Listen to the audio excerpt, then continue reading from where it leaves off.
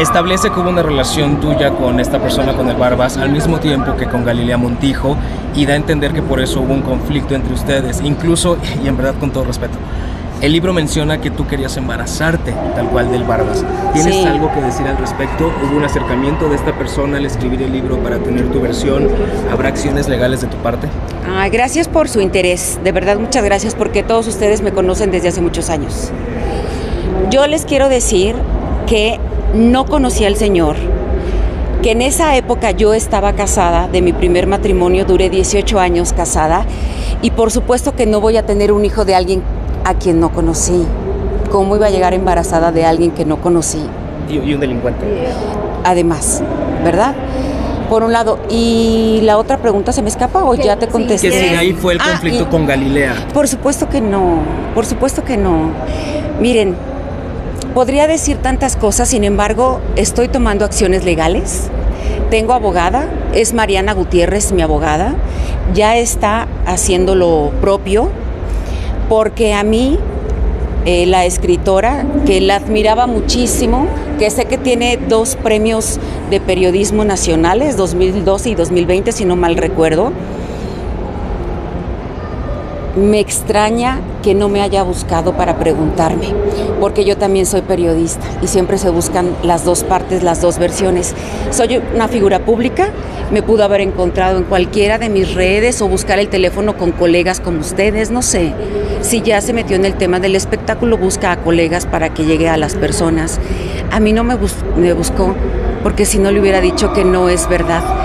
Ahora, de verdad, compañeros, les agradezco infinitamente. No estoy autorizada para decir nada más porque sí lo está llevando mi abogada ya. Yo sí voy a demandar. ¿Qué tipo de litigio va a ser? No te sé decir los términos, querido amigo, no te sé decir, pero de que de que se va a hacer, se va a hacer. Es Mariana Gutiérrez, que seguramente la conocen ustedes. Claro. Oye, además también este Lili pues ha comentado que pues a él también se le ha involucrado en este libro y dice, porque a mí también no me ha buscado ella, ¿no? Para, para saber mi, mi versión, si es que es cierto, si es que no. Y al contrario de ti, bueno, él dice que no piensa demandar, porque él piensa que es una revista del corazón impresa en un libro. ¿Quién me dijiste, perdóname? Sergio Mayer. Sergio Mayer. Mira, cada quien hace lo propio o lo que desea. Mi deseo es que se limpie esto, que, que- que- si ya me mencionaron que, que se hagan, que se vean las consecuencias. Yo te cuento solo de mi caso, no te puedo contar de otras personas, cada quien hará lo propio. También te ha eh, afectado profesionalmente en estos días, pues este, este escándalo, el que tu nombre pues está empañado, ¿no? En, en- en este libro. No, no lo he sentido honestamente, no, no te sé decir, pero no está bonito tampoco. En el libro se comenta que estabas obsesionada por él. No, por supuesto que no. De eso, No de eso, de eso vamos a, a llevar a cabo la demanda. Yo no me mira, se lo reitero porque ya se los dije al principio de la entrevista. Yo no conocí al Señor. ¿Cómo me voy a obsesionar por tener un hijo con alguien que no conozco? Uno y dos, yo estaba casada. Imagínense con qué cuento puedo llegar a mi casa embarazada de otra persona. Claro. ¿Cuál fue tu primera impresión al escuchar este tipo de, pues, de cosas que se dicen en el libro y que, bueno, de alguna manera, como tú dices, no pasaron y que de pronto alguien está inventando algo de tu vida? Primero pensé que no era cierto. Lo escuché con Gustavo Adolfo Infante en, en Facebook y después me llamó Anita Alvarado, que me pidió una entrevista y le dije, no, déjame conocer el libro. De hecho, hoy por hoy no conozco, no he tenido en mis manos el libro, pero sí me compartieron las dos hojas y los párrafos donde me mencionan. Primero no le di importancia. Honestamente yo pensé que estaba leyendo una revista. Honestamente, porque dije, aterrizaron muy bien el conflicto que yo traigo con la otra persona desde hace mucho tiempo, lo vinieron a traer perfecto. Y después dije, ah, no, o sea, esto es algo muy serio. De inmediato tú me buscaste y yo te dije, discúlpame, tengo que asesorarme. Primero conocer la pieza, el libro, y después saber ¿qué le voy a hacer? Porque no es agradable. Y sí les doy la cara. Y también he escuchado que muchas personas se burlan. A ver, que demanden porque no demandan. ¿Dónde está la demanda? Créanme que la mía la van a ver.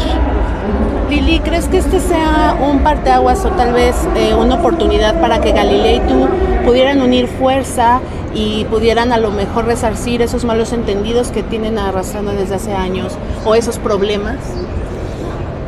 Porque las, No las vinculan muy directamente a las dos, ¿no? O sea, Bueno, es que en este caso me, vi- me vinculan con este señor, pero antes me, me vincularon con Cuauhtémoc Blanco. Pero porque andabas peleando a, a- a este hombre, Arturo Beltrán con, con Galilea, o sea, que porque Galilea supuestamente era la favorita de él y que por ahí empezaron las rencillas. Es por eso que yo te pregunto que las vinculan realmente una vez más en, en un conflicto, ¿no?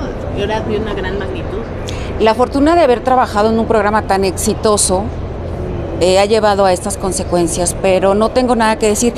Realmente todo lo que yo pudiera decir, hasta ahorita me dijo mi, abogada que no me metiera con nombres ni nada. Simplemente decir que se están haciendo las acciones legales y que en su momento se les va a notificar a todas las personas, a ustedes mismos como medios. Ya me explicó cómo es el proceso. Celeste, hay una persona que se llama Celeste y otra que se llama Violeta.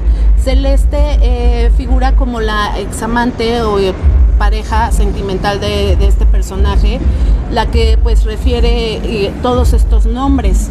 Eh, ¿Tú alguna vez, no sé, llegaste a platicar con ella o con Violeta, que era como que la que reclutaba a los famosos o a las famosas que las llevaba a eventos públicos y que ahí las enganchaban? ¿Tú a lo mejor llegaste a convivir o conocerlas en algún evento o algo? Nunca, nunca. Tengo la certeza que no. Y por eso voy a demandar. Nunca. No las conozco. ¿Nunca lo conociste él tampoco? No, en un principio, no, no lo conocí. Y no, no es verdad lo que se escribe ahí. Fotos, ¿Qué le no hay nada.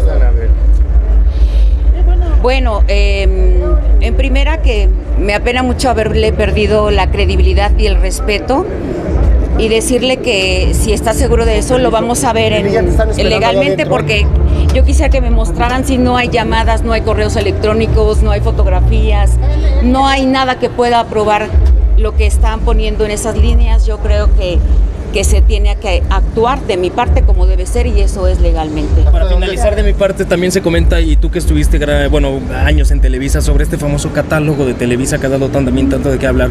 ¿Qué puedes decir al respecto? Tú llegas a saber porque sabemos también que las empresas tienen catálogos de su talento. Pero de eso a que se utilizara para una cuestión como prostitución, pues creo que hay una diferencia muy grande. ¿Tienes algo que decir al respecto como eh, persona que Yo solamente te voy a hablar de mi experiencia. Yo sé que todos los talentos estamos en un catálogo. Es más, viene del SEA, el catálogo. Por cierto, hay que renovar fotos. Ay, sí, porque a mí me tienen muy, de muy jovencita. Es, ese catálogo sí, sí lo conozco, sí es cierto, ¿no? Pero porque dentro de la misma empresa es todas las producciones lo tienen y lo van viendo para acordarse y ver nombres y saber qué, qué personaje macha o qué familia macha con cada uno de los personajes. Supongo que es por eso, ¿no? Del otro no tengo ni idea que pueda existir. Yo no creo que exista. Cuando estuve en programas tan exitosos, sí íbamos a, a comidas con publicistas, sí, y, y te lo piden porque te presentan al- a los de las marcas y entonces tú hablas con él y él sabe si tú eres la persona indicada para anunciar su producto, ¿no? Es como funciona.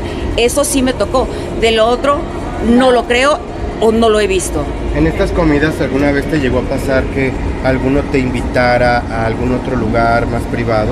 Jamás, amigo, jamás. Ustedes consideren como gusten,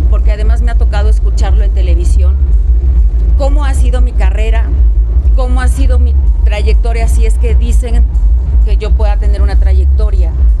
A mí todo me ha costado trabajo, todo me lo he ganado y jamás me han pedido que den nada, que me acosen, que me inviten, jamás, jamás en mi vida, gracias a Dios. A lo mejor por eso no estoy en- tan expuesta en programas, no lo sé. A mí no me pasó, ni drogas me ofrecieron en, en todos estos años. Creo que eso es una muy buena suerte para mí y además porque saben, yo creo que esas cosas se huelen, ¿no? Y saben a quién ofrecerle y a quién no. A mí jamás. ¿Hasta dónde